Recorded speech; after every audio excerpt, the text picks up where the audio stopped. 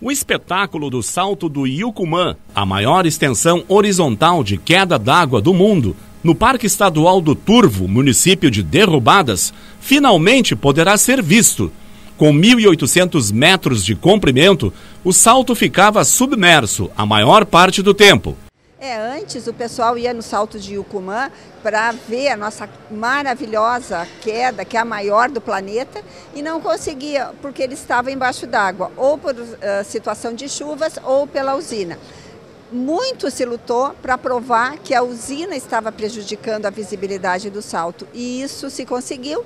A ANA, Agência Nacional de Águas, reconheceu então essa influência e com esta resolução estabeleceu limites de atuação da usina para que a gente possa ver o salto. Nesta terça-feira, o governador José Ivo Sartori recebeu portaria da Agência Nacional de Águas estabelece regras para a operação da usina hidrelétrica Foz do Chapecó vai garantir a visibilidade do salto em períodos de águas baixas. Dois fatos importantes. Primeiro, a integração entre o governo de Missões e o estado do Rio Grande do Sul.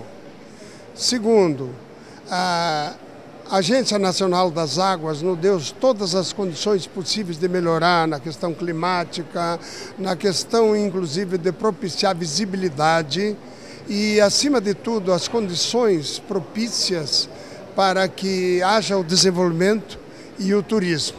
O Ilcumã passa a ser agora um ponto de visibilidade para todos os turistas e eu tenho certeza que isso vai ajudar o progresso e o desenvolvimento de todos os 32 municípios do Rio Grande do Sul, mas também os da província de Missões. Foram assinados dois acordos bilaterais, Rio Grande do Sul, Missões.